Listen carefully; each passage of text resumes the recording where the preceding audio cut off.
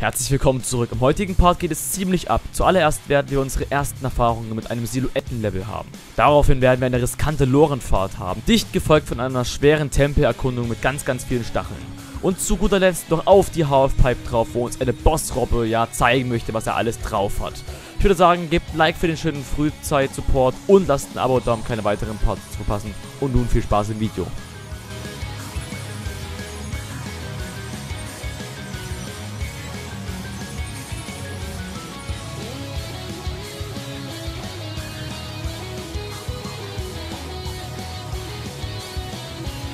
Na, ihr ganzen Abstammungen, seid ihr wieder bereit, euren Urahnen zuzusehen, wie sie wieder Level durchkämmern? Nein? Na, dann könnt ihr auch immer noch gerne diesen Affen hier zu, zusehen, der das Ganze auch noch ganz level nicht kommentiert. Und ich würde sagen, damit beginnen wir auf jeden Fall den nächsten Part.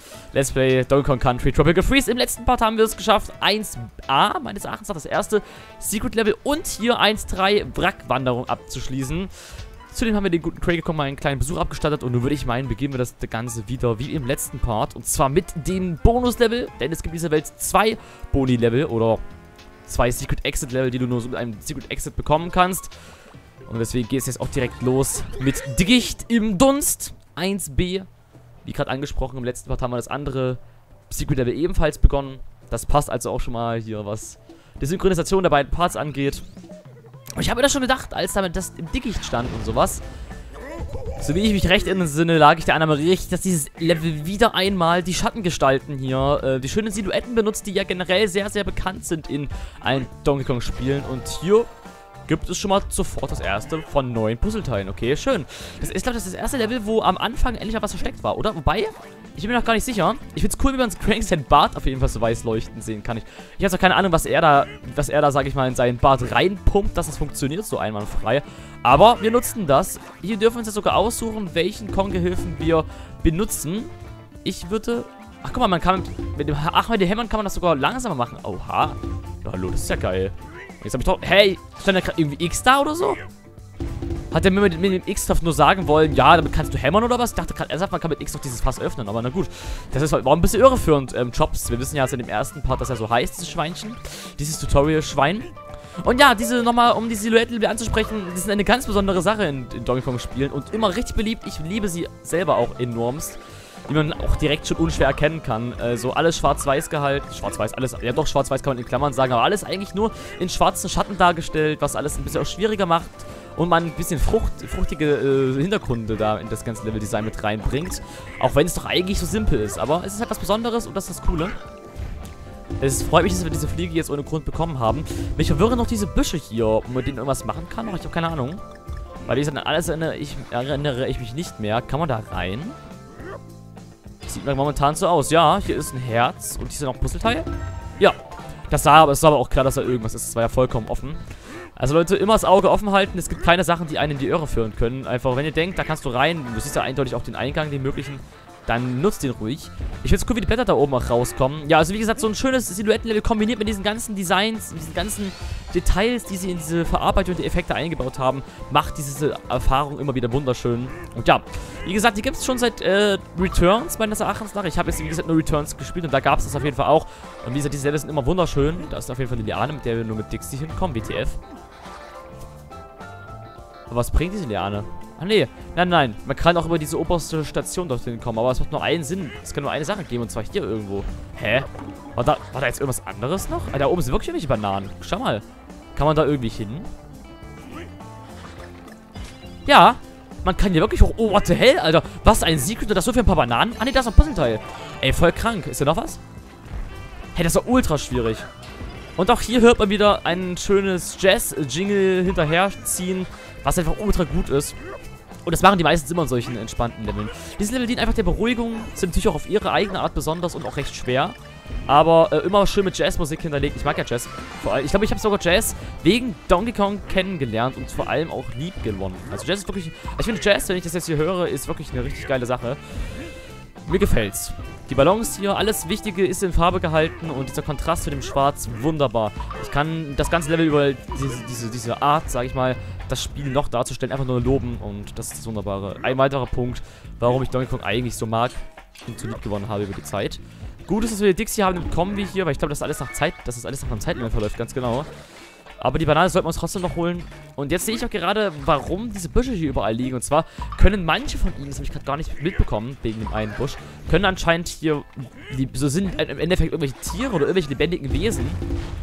Boah, das Schwierige bei solchen Leveln ist natürlich auch die Secrets zu finden. Weil die Puzzleteile, wie man sehen kann, sind nur schwarz gehalten, sprich noch schwieriger zu erkennen, als sie ja so schon mit ihren eher unauffallend braunen Design sind. So, hier, hier gibt uns Shops nochmal den Hinweis, dass man das eintreschen kann, wer es vergessen hat, auf jeden Fall. Und was zum Teufel? Was haben wir denn gerade damit runtergejagt? Oh, lol. Okay. Hier ist auch ein Fass, aber das ist ein normales Fass. Das werfen wir mal auf den Typen hier drauf. Und das Fass hat uns gerade gezeigt, dass man hier reingehen kann, oder? Hä? Aber ich habe gerade nicht die Animation gesehen, dass das Fass kaputt gegangen ist, als es hier rein... Es sah so aus, als wäre es da reingeflogen. Okay, komisch. So, ist das eine Liane hier? Ja, es ist eine Liane. Okay, sehr cool. Und da kommt eine Erinnerung wieder hoch. Und zwar, das müssen wir mal ganz kurz gucken. Ja, ist sehr schwierig, kann man schnell mal sehen, wenn man ganz, ganz, ganz eilig hat. Aber daran erinnere ich mich noch. Und zwar hier, das Ganze kann einen Stern formen. Und ja, für diesen Stern, das spawnt auf jeden Fall ein kleines Rätsel. Oder ein kleines Secret, kann man, kann man schon fast sagen. Und da spawnt daraufhin ein Puzzleteil. Die Blätter gehen zur Seite und man kann ein bisschen was im Hintergrund sehen. Ein Stückchen einer Insel oder einer fliegenden... Ja doch, das ist irgend... Was ist das? Soll das überhaupt sein? Ist das, ist das wirklich Stein sein oder ist das irgendwie so wieder ein Flugzeug, was sich in den Wald verwachsen hat? Würde auf jeden Fall mehr Sinn ergeben, als so eine fliegende Insel hier unregelmäßig zu haben. Aber keine Ahnung. Lasst die Entwickler ihr schönes Design nicht ausnutzen. Das macht das Spiel ja auch immer auch noch besonders. Und was ich einfach cool finde, ist, man sieht halt im Hintergrund auch, oh Gott, das war gerade ziemlich knapp, wie weiterhin diese ganzen ähm, Wikinger hier das Land ähm, ja erobern mit diesen Schiffen, wie man es im ersten Level gesehen hat. Und ebenfalls im Schwarz-Weiß gehalten. Dass wir jetzt unser, dass wir unsere Spiegelung gleich im Wasser sehen können, ist auch wirklich sehr, sehr schön. Also wir sind jetzt fast ganz unten angekommen. Das Wasser ist das Einzige, was hier durchsichtig ist und wo man auch erkennen kann, alles spiegelt sich im Schatten gehalten und, es, und ein paar Pfützen bilden sich. Es könnte sein, es würde es regnen draußen, so wie es aussieht. Ach, wunderschön. Ich glaube, das ist auch nochmal ein schöner Boost. Äh, im, oh, kann, man, kann man da hoch mit Cranky? Ne, kann man nicht. Dann machen wir es nochmal neu. Ich hoffe, man, kann man es resetten. Ich glaube schon. So, aber jetzt kommen wir da bestimmt hin. Ja, genau. Dann können wir einen kleinen Boost uns geben. Aber was bringt das jetzt? Ne? Braucht das nur für diese beiden Gegenstände? Für diese kleinen Bananen dort? Gut, okay. Okay. Oh Gott. Oh Gott, nein, okay, ich dachte schon, dass sie, dass sie runtergehen, aber die gehen anscheinend nicht runter. Aber berollen kann man sie auch. Also Cranky, tritt ruhig deine armen, müden Beinchen rein. Wir wollen jetzt hier mal ein bisschen rollen.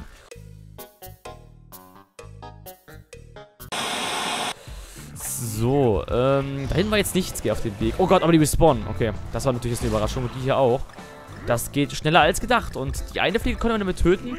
Die hier leider noch nicht. Kommt er nochmal zurück? Ja, kommt doch. Okay, dann müssen wir jetzt im richtigen Moment nämlich äh, mit Rollen Anlauf nehmen und da uns das Puzzleteil holen oder das, den K-Buchstaben.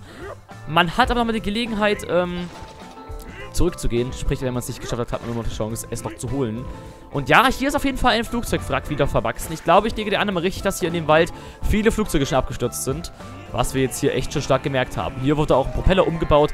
Vielleicht haben die Viergänger ja auch schon ganz, ganz lange versucht. Okay, das könnte ein Puzzleteil geben. Und es gibt wirklich ein Puzzleteil. OMG. Auch das hat es wieder diesen kleinen Hinweis gegeben, wegen diesem auffallenden Sound. Wegen diesem Sound, was ich im letzten Part schon angesprochen hatte. Also wenn ihr diesen Sound hört, sammelt auf jeden Fall die Banane ein, die ihr dadurch bekommt. Es lohnt sich. So, und das hier könnte auch ein Puzzleteil sein. Mal gucken. Ich hoffe, der Baum... Ähm, es gibt kein... Es gibt ein Zeitlimit. Es gibt ein Zeitlimit. Ah! Okay. OMG, wer hätte hier chronologisch vorgehen sollen. Aber wir haben es geschafft. Alter, aber wir haben schon fast alle Puzzleteile. Wenn wir jetzt nicht, wenn jetzt nicht gleich das Ziel kommen, haben wir es noch, dann schaffen wir es diesmal sogar. Und das ohne irgendwie wirklich drauf Acht gegeben zu haben. Wir haben fast alle Bananen bekommen. Das ist das Ziel da hinten. Oh nein, bitte. Bitte gib mir noch, bitte, bitte gib mir noch ein. Oh, das DG-Buchstabe ist hier auf jeden Fall noch. Oh lol. Okay, holen wir uns den zuerst. Aber das sieht nicht gut aus, Leute. Das sieht nicht gut aus. Ja, oh Gott. Alter, was? Und jetzt fallen sie runter, oder was? Jetzt fallen sie runter. Ihr dreisten Schweine. Ich glaube, die respawnen nicht, weil ich komme... Ja, das ist schon echt böse. Die respawnen, oder? Nee, respawnen sie nicht. Okay, das ist immerhin etwas... Äh, macht es immerhin etwas cooler. Aber ist jetzt hier ernsthaft Feierabend? Gibt es jetzt hier nichts mehr? Wann können wir es nicht einfach mal hinbekommen, in einem Level alle Puzzleteile zu finden oder so, ohne dass wir nochmal einen zweiten Anlauf brauchen? Ja gut. Machen wir das Level zu Ende und ich werde euch dann direkt reinschneiden, wo es das, wo es das gibt. Das machen wir jetzt nicht am Ende des Parts. So, DK, komm her. Ah, schade. Um ein Feld zu spät gewesen, aber das war auch schwieriger. Denn wir hatten nicht komplette Kontrolle, das sage ich mal, zu treffen. Wir mussten da schon etwas fliegen. Dann war das wohl doch noch woanders versteckt. Aber immerhin haben wir, haben wir sie alle recht gut gefunden. Die waren nicht so fies. Versteckter Stern kann halt, wie gesagt, für den einen oder anderen etwas fieser wirken. Aber ja, irgendeins hat sich trotzdem unseren Affengriffen entgehen können. Und ich würde sagen, den holen wir uns jetzt. Das, das Puzzle holen wir uns jetzt noch.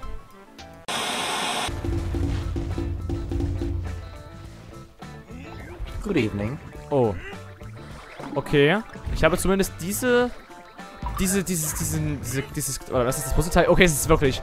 Oha, das war, das war nicht mal einfach, aber ja, stimmt. Wir haben ja hier dieses Teil weggehämmert. Wir sind wahrscheinlich im Gespräch versunken oder so. Und hier kam jetzt das, da haben wir halt diesen kleinen Griff nicht gesehen. Das war auch fies, vor allem, weil es halt eben so, so im Schwarz gehalten ist.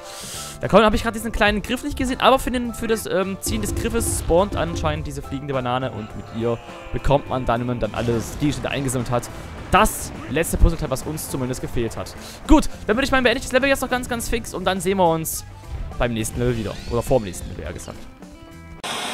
Damit wäre dieses Puzzleteil nun auch in unserem Besitz. Und nun können wir uns an 1.4 Wipfelwirrwarr ranhängen. Auch da oben drüber ist wieder ein Level zu sehen. Ich weiß gar nicht mehr, ob das... Ich glaube, das hängt nicht mit einem Secret Level, mit einem Secret Exit zusammen, sondern mit einer anderen Sache, die wir noch mehr früh genug miterfahren werden, wenn wir da dran kommen werden. Vielleicht sogar in diesem Part, Leute, wenn wir jetzt recht schnell dieses Level absch ähm, ja, abschließen können. Mal gucken. Wipfelwirrwarr. Mal gucken, was du zu bieten hast. Das sieht auf jeden Fall auf, vom ersten Eindruck wieder sehr mechanisch aus. Ich bin mal gespannt, was das zu bieten hat. So. Da ist irgendwelche Container, die den Weg komplett absperren. Aber ja, alles sehr mechanisch gehalten. Ich würde sagen, ja, doch, bleiben wir Dixie. Und da unten kann man direkt schon mal ähm, in einen Bonusbereich eintauchen. Denn diese Platten, das kann man recht gut erkennen. Und das ist doch ein recht schwieriger Bonusraum, oder nicht? Also man muss es so machen. Dann so, genau. Also einfach so schießen, ganz genau. Boom. Okay, das wird... Ja, genau, man kann einfach runterfallen. Okay, ich muss mich echt konzentrieren ein bisschen. Weil, der, weil die auch recht schnell switchen, die, die Dinger. Okay, jetzt hat das hier. Okay, vorsichtig. Ganz ruhig. Boom. Und jetzt kommt das noch. Okay, also wenn man hier zu viel drückt, dann kann das tatsächlich äh, böse enden. Vor allem, wenn du jetzt noch falsch treffen könntest und noch runterfallen könntest. Du kannst dich ja immer ins Ausschießen. Und das kann auch recht kritisch werden, wenn du dann das Puzzleteil freigeschaltet hast, aber dann nochmal ganz, ganz kurz, so eine Sekunde oder so eine halbe Sekunde, ja, zu spät drückst und dann noch nach unten fällst. Ich glaube, was Bitteres gibt es nicht in diesem Spiel. Wobei, wir haben ja auch den ersten Anfang gesehen und ich habe ja gesagt, Leute, das Spiel ist recht schwer. Ich denke, wir werden noch einen, die einen oder anderen bitteren Moment hier haben. So, aber mehr ist es nicht. Und, aha! Der Titel, der Titel hat es gar nicht ausführen, also hat es noch gar nicht so an, hat auch gar nicht diesen Anschein gegeben, aber die Schienen, die man sehen konnte, schon das ist das erste Loren-Level. Und diese Level sind besonders schwierig, weil du erstmal immer nur eine Chance hast, das Puzzleteil oder den Kombostamm zu finden. Ansonsten kannst du direkt von neu anfangen. Und, ähm, ja, du kannst ja schnell sterben, gell? Fällst runter irgendwie. Du bist ja auch daran gebunden. Oh Gott. Und hier kommen, warte mal, wie viele sind das? Fünf, okay. Immerhin ist das fair gehalten. Das sind nicht so viele Puzzleteile. Ich kann mir gut vorstellen, dass die auch mal in einem Level so sieben oder sogar neune einbauen. Und dann einfach überhaupt keinen Fehler mehr haben darfst. Hier habe ich jetzt zum Beispiel die Bananen nicht mitnehmen können. Hätte auch ein Puzzleteil sein können, sonst hätten wir jetzt direkt mit da vorne anfangen können. So. Hier müssen wir richtig wieder hochgehen. Genau. Boom. Boom. Okay, gut. Das war vom Timing her machbar. Aber ja, einmal über dagegen knallen und verlierst beide Leben. Weil das ist, glaube ich, sogar generell neu, dass man mit diesem Teil ein ähm, Leben hat. Weil normalerweise bist du One-Hit in so gut wie allem, was du frontal rammst. Aber wenn du halt immer so einen Teiltreffer bekommst, wie zum Beispiel diese Rotorblätter, wenn wir, wenn wir die abbekommen. Okay, das war vermutlich eine richtige Entscheidung. Und zack. Dann, ähm, dann, wenn das halt nur so ein Teiltreffer ist, dann ist es, glaube ich, nicht so schlimm. Dann verlieren wir halt ein Leben, aber normalerweise alles, was frontal kommt, können wir ja nicht überleben. So. Ich kann mir vorstellen, dass wir irgendwann mit dem richtigen Timing ähm, mal auf den Gegner draufspringen müssen. Was sie hier auf jeden Fall wunderschön gemacht haben, ist, ähm, das ist auch neu, diese dynamische Kamera, die sich hier einschaltet, sobald wir hier in den Lorenpfad-Leveln sind. Weil normalerweise war, es ja auch immer so 2D gehalten. Oh Gott, da müssen wir echt aufpassen. War da gerade ein Puzzleteil? Ich hab's nicht gesehen. Oh, hier war eins. Das war fies. Und einen Ballon haben wir auch nicht bekommen. Schade. Ich weiß nicht, ob bei dem, Flugzeug noch eins war. Oh nein! Oh, jetzt passt mir doch alles hier, Alter. Okay, da können wir direkt nochmal was umbringen. Das macht keinen Sinn. Also wenn wir, also die Kombo-Staben möchte ich alle mitnehmen, weil uns, wenn uns einer fehlt, ich habe es euch gesagt, Leute, dann müssen wir direkt dran glauben. Ich glaube aber sogar, dass das, dass, dass die, ja genau, das ist ja großzügig. Also die Checkpoints, in dem Fall ist, ist es sogar großzügig, dass die eben so selten vorkommen, damit man, oh mein Gott. Okay, ja, aber ich hätte auf die Kiste drauf springen können, das wäre einfacher geworden. Wieso mache ich es mir so unnötig schwierig, wie beim letzten Mal schon. Hier gibt es ein Le äh, Leben, wunderbar. War hier ein Puzzleteil? Ne, war hier nicht, okay. Ja, hätte er sein können. Aber hier gibt es nochmal ein Puzzleteil, das sollten wir mitnehmen. Und gleich kommt eine Kombo-Stab, Achtung irgendwie hier auf den Karton drauf springen, richtig. Und zack, und jetzt haben wir alles. Und jetzt haben wir G und, ah, ein bisschen zu früh gesprungen. Wir sind noch ganz kurz hängen geblieben. Ziemlich cooler Detailheitsgrad. Oh Gott, oh Gott. Ah, da wollten sie uns jetzt schon zum Erschrecken zwingen, oder? Aber ja, die dynamische Kamera sowie diese Leben sind neu für die Lorenfahrt-Level. Das ist halt ultra geil. Und das hier so eine Zwischensequenz machen ist, macht das Ganze noch cooler. Aber was ist das hier? Alter, was ist das? Was, was, was, was landen hier für Flugzeuge, bitte? Oh, hier, oh, oh, oh, da habe ich gerade nicht dran gedacht. Aber Leute, genau dafür sind halt diese, ähm, diese Leben da. Weil alles, was frontal kommt, tötet dich, aber das war halt nicht frontal. So, haben wir jetzt alle? Nein, haben wir nicht. Aber, aber hoffentlich habe ich endlich mal Glück, dass wir doch... En ja, endlich gibt es am Ende, wo man mal tauchen kann, auch das letzte Puzzleteil. Mehr ist hier nicht. Nur riesige Frachter voller, ja, wer hätte gedacht, Bananen natürlich. Deswegen liegen die hier auch alle rum. Ich weiß zwar nicht genau, woher diese Flugzeuge kommen, aber, ähm, ich will mir auch nicht auswählen, was den Leuten passiert ist. Und, bam, jawohl, perfekt. Dann hier fett raufkloppen und nochmal 12 Coins mitnehmen. Da wird sich Funky Kong auf jeden Fall freuen, wenn wir bei ihm mal die eine oder andere Sammelfigur kaufen. Das kommt aber alles gegen Ende des Spiels, jetzt momentan die Dinge einzukaufen. Warum? Ja, zwischendurch bringt es nichts. Das machen wir gegen Ende mal. Da kaufen wir die alle und hoffen, dass wir vielleicht so viele wie möglich bekommen. Die sammeln fleißig und können auch am Ende mal schauen, ob es möglich ist, wenn man das Ganze, wenn man in der, wenn man das ganze Spiel fleißig gesammelt hat, ob man alle Figuren bekommen kann oder ob man doch ein bisschen grinden muss am Ende. Und ja, ich, ich lag der Annahme richtig, dieses Level triggert automatisch, sobald man in jedem anderen Level alle Puzzleteile oder Kong-Buchstaben oder beides hat. Ich weiß nicht genau, ob man in jedem Level beides braucht. Ich glaube, nein. Es kann sein, dass du alle Kong-Buchstaben benötigst, um hier in dieses K-Level reinzukommen, ja? Es gibt in jeder, Level, in jeder Welt ein K-Level, das war auch schon in Returns. Ähm, eine Neuerung kann man sagen, eine Neuerung, äh, schon ein Thema, diese K-Level, die du erst passieren kannst, wenn du halt eben in der jeweiligen Welt alles zu 100% abgeschlossen hast. Bis zum Boss, weil ein Boss kannst du, den kannst du nur besiegen, da gibt es nicht noch irgendwie so einen Bonus oder so. Und ich würde meinen, um nochmal eine Information vorab rauszuhauen, diese Level sind bockschwer. Also wirklich richtig krass, ihr werdet es gleich sehen. Man will ja die Grinder belohnen, ja, für ihre Taten und ihnen nochmal eine ordentliche Herausforderung in jeder Welt bescheren. Diese Level sind noch, glaube ich, unabhängig von der Welt, ja. Es kommen da random Sachen vor und es gibt für den einen oder anderen, findet K1 richtig schwierig und andere finden K2 oder, der, oder die achte Welt sehr schwer. Ich glaube, hier hat, ähm, zumindest in Returns habe ich die Erfahrung und da gab es, ich habe in einigen Leveln stundenlang gesessen ich hoffe, das werden wir in diesem Spieldurchlauf nicht haben. Ich bin mal sehr gespannt, weil das ist auf jeden Fall cool. Und allein dadurch äh, identifiziert man das Spiel auch als ein recht schwieriges Spiel. Einfach weil diese Level halt eben so krank sind. Ja. Und auch hier gilt es natürlich wieder, Puzzleteile zu sammeln, aber keine Kombostaben. Davon werden wir verschont. Wie viele Puzzleteile können wir sammeln? Fünf. Ich weiß nicht, ob es immer fünf sind. Das kann ich nicht ganz sagen. Und ja, auch schon vom Design dieser Level und von der allgemeinen Atmosphäre habe ich euch nicht angelogen. Diese Level sind komplett random. Wir sind hier in irgendeiner Ruine. Ja, in irgendeiner... Oh Gott. Die Dinger brennen einfach aus irgendwelchen Gründen ab. Keine Ahnung, wie, wie das bitte möglich ist. Wenn wir die Platte betreten, stößt Öl aus und das wird dann auf die Liane übertragen. Keine Ahnung. Momentan geht's noch. Ich bin ja auch ein geschulter, vor allem mit Dixie Kong, ah, geschulter äh, DK-Spezialist. Ich würde gerne gucken, ob dein Herz drin ist. Einfach zum Ausgleich.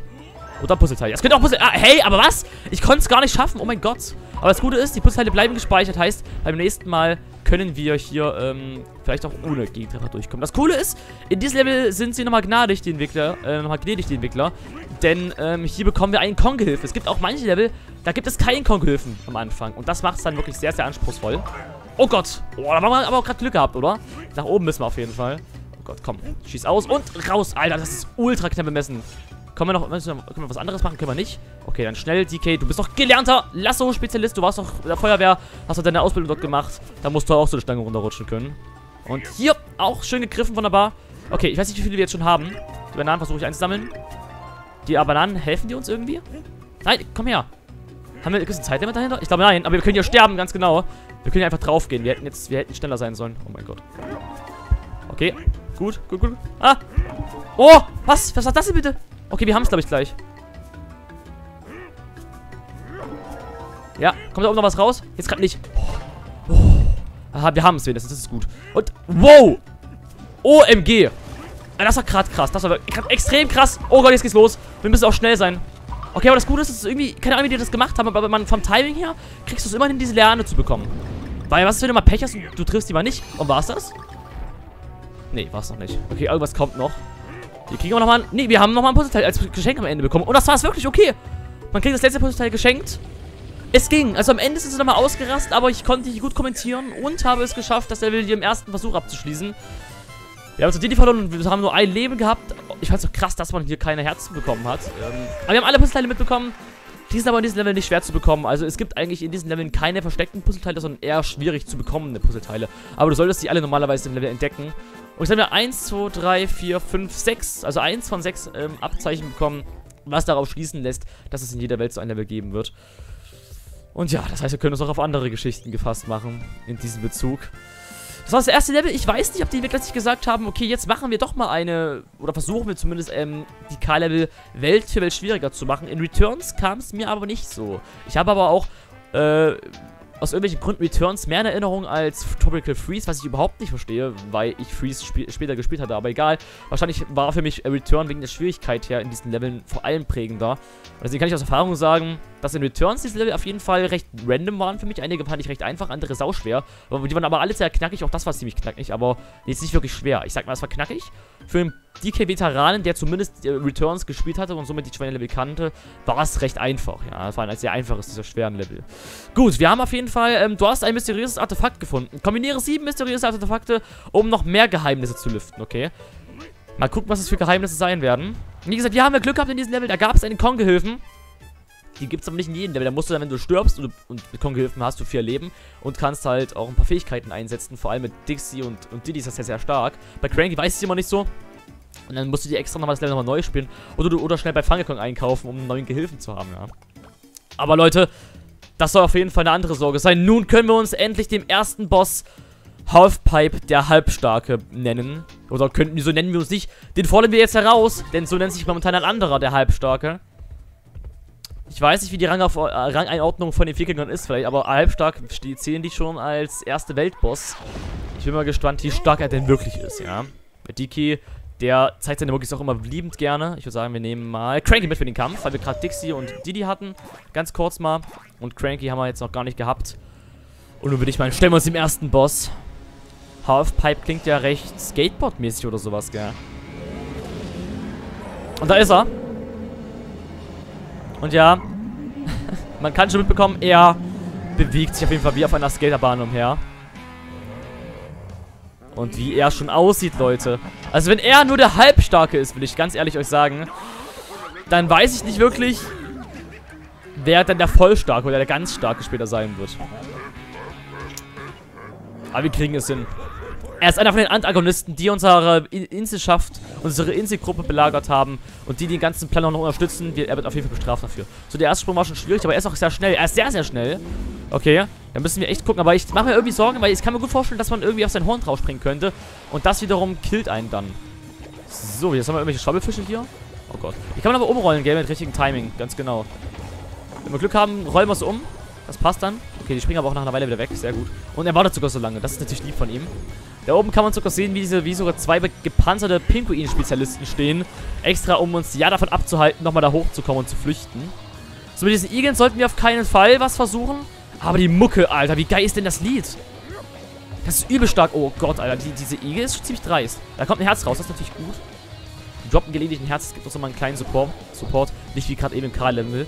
Aber die Musik, die dröhnt schon richtig rein und das passt auch einfach wunderbar zu diesem Gegner. Und jetzt haben wir es gerade gesehen, wir sind gerade aus seinen komischen Wikingerhelden draufgesprungen. Klar mit dem Pokostick von ähm, Cranky.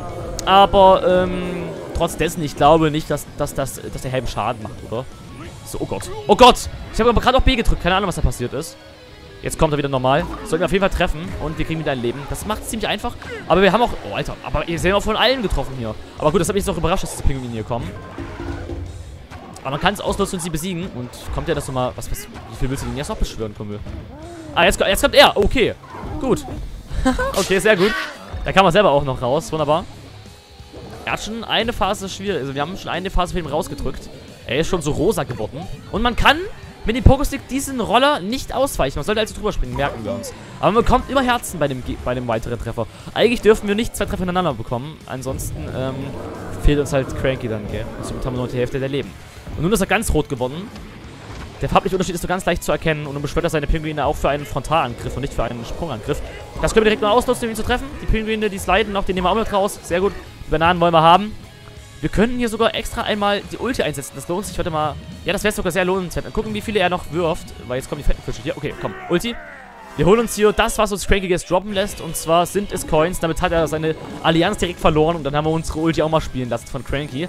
Jetzt kennen wir die Ulti von Diddy Kong und von Cranky. Kommt, drauf da. Oh, oh, lol. Hey, keine Ahnung, was da gerade los war. Äh, der war auf jeden Fall gerade nicht gestunt. Ganz interessant. Ich habe ja nur noch ein Leben aus und das sollten wir jetzt hinbekommen, wenn er seine Pinguin-Geparten jetzt rausholt. Bam.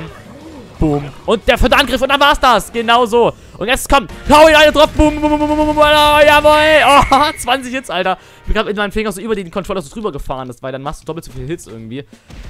20 ist es in Ordnung, man hätte auch mehr treffen können, aber beim nächsten Mal werde ich mal drauf achten. Es war gerade überraschend, weil ich gerade erst ganz kurz nicht ver also vergessen hatte, ähm, dass er die Bosse nochmal übel verprügeln kann. 20 blaue Augen. Ja, hätte er 20 Augen, dann hätten wir jetzt 20 seiner Augen blau geschlagen. Es sind nur zwei geworden, heißt 10 mal auf jedes Auge drauf. Ist in Ordnung. Damit haben wir eine neue Musik freigeschaltet. Eine neue, wir haben neue Figuren bei Frankia, ist, ist nun erhältlich. Und ein Diorama haben wir erhalten. Das ist, glaube ich, das, was wir auch bekommen für die Puzzleteile, nicht wahr? Diese Bilder da. Glaube ich zumindest, aber ich kenne Diorama jetzt vom Namen her nicht. Ist mir zu fremd. Fehlt mir noch im Wortschatz. Und damit ist die erste Welt abgeschlossen. Wunderbar! Und das sogar zu 100%. Sprich, der Sprung in die nächste Welt, der passt auch und wir können direkt im nächsten Part hier weitermachen. Diese Welt scheint etwas größer zu sein schon und hat mit einem riesigen Eulenberg oben zu enden. Also können wir uns ja schon mal ahnen, welcher, welches Tier wahrscheinlich unser nächster Boss sein wird, unser nächster Endgegner. Aber im nächsten Mal geht's weiter, Freunde. Das Gute ist zu wissen, dass man wirklich die Figuren, ähm, wenn man halt die Boss besiegt, erst freischaltet. Sprich, es lohnt sich wirklich erst bis, äh, bis zum Ende des Spiels zu warten, weil man dann halt alle Figuren kaufen kann. Das heißt, am Ende richtig reinpayen und auch alle bekommbaren Figuren kaufen. Das ist besser als jetzt, sage die nötigen Figuren sich zu holen. Weil ich glaube, man dort auch Duplikate ziehen. Und ich weiß nicht, ob Fernsehkommen dann einfach sagt, ja, jetzt hast du alle, es bringt jetzt nichts mehr zu kaufen oder so. Oder ob du dann einfach selber daran denken musst. Deswegen will ich nichts riskieren. Deswegen machen wir es dann am Ende, dann kann nichts mehr passieren. Höchstens, wir haben extrem viel Pech mit den Duplikaten. Aber das ist, wie gesagt, eine Sorge für später. Im nächsten werden wir auf jeden Fall in 2-1 weitermachen. Lasst ein Like, wenn es euch grundsätzlich gefallen hat. Und lasst ein Abo, um keine weiteren Parts wie dies nicht zu verpassen. Und dann würde ich meinen, habt noch einen schönen restlichen Tag und einen schönen kommenden Tag. Ja, wir sehen uns zum nächsten Part. Ciao, meine Freunde.